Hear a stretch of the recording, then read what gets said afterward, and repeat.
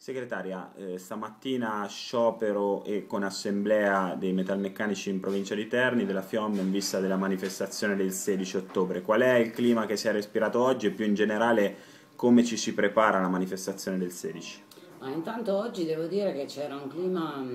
molto positivo, di grande consapevolezza da parte dei lavoratori di quello che sta per succedere o che già sta succedendo da qualche parte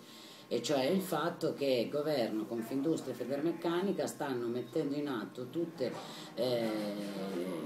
le, le, iniziative per annullare, cancellare il contratto nazionale di lavoro e i diritti dei lavoratori e delle lavoratrici e questo lo stanno facendo con il consenso di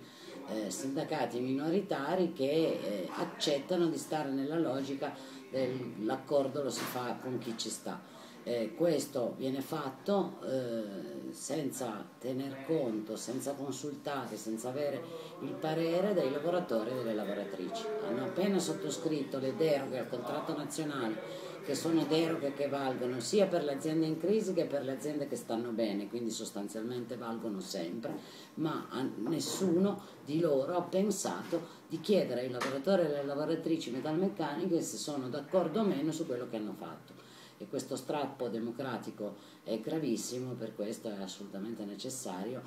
e nella manifestazione anche questo sosterremo, non solo che il lavoro è un bene comune che quindi va messo al centro dell'iniziativa politica e dell'iniziativa di tutti, ma sosterremo anche che la legge perché ci sia eh, il referendum per legge nei luoghi di lavoro sia fondamentale e venga, e venga portata avanti perché la democrazia non può fermarsi ai cancelli delle fabbriche.